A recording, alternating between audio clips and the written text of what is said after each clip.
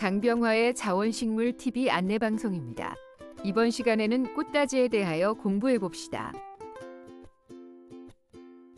꽃다지의 생육 단계별 모습입니다.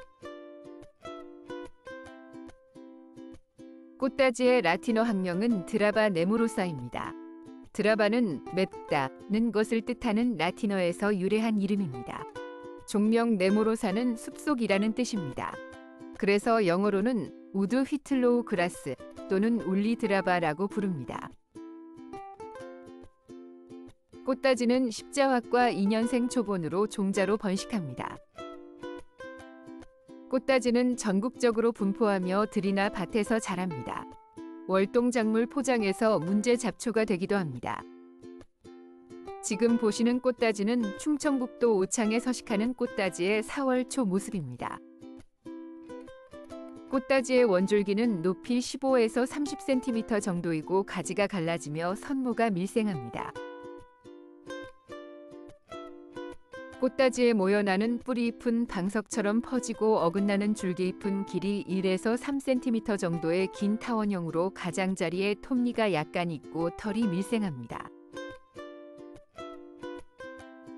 꽃다지는 4에서 5월에 총상으로 황색꽃이 핍니다. 꽃다지의 열매는 길이 길이 5에서 8mm, 너비 2mm 정도의 긴 타원형으로 전체에 털이 있습니다. 산꽃다지와 달리 단모와 성모가 밀생하고 가지가 보다 위쪽에서 갈라집니다. 열매에 털이 없는 것은 민꽃다지로 변종입니다.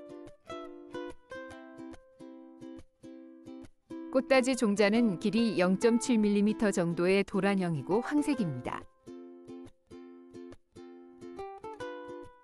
꽃다지의 어린 수는 나물로 식용하며 봄에 어린 수를 데쳐서 무침을 해먹거나 국으로 먹고 양념과 버무려 생채로 먹거나 비빔밥에 먹기도 한다.